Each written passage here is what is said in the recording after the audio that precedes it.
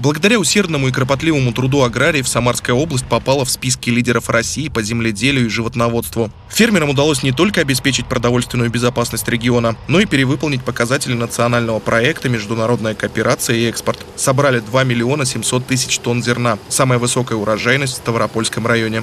Самый лидирующий значит, э, район – это Ставропольский, где уже намолотили 220 тысяч тонн зерна.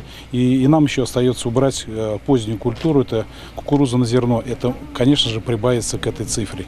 Высокие показатели урожайности вдохновили самарских музыкантов. Они решили поблагодарить аграриев за добросовестный труд. В рабочий полдень организовали концерт для фермеров прямо в поле. Популярные лаконичные мелодии звучат в таком месте впервые. Самарский муниципальный духовой оркестр выступает поле под Тольятти, а в импровизированном зрительном зале работники сельскохозяйственной отрасли в этом году им удалось собрать рекордный урожай зерна. После первого взмаха дирижерской палочки слушатели немного смущались, но уже после нескольких композиций начали дружно аплодировать и подпевать музыкантам.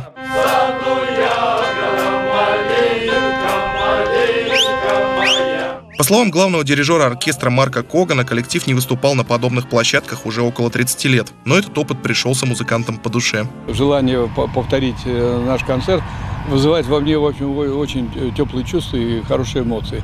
Это то, что, безусловно, надо возрождать.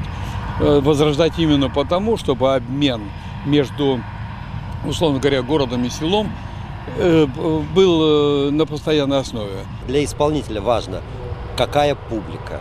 И вот сегодня публика, у них горели глаза, они кричали «Браво!», они подпевали э, солисту, они пританцовывали. То есть мы видели, что наша музыка, наше исполнение дошло до их сердец. А это, мне кажется, самая главная награда для музыкантов.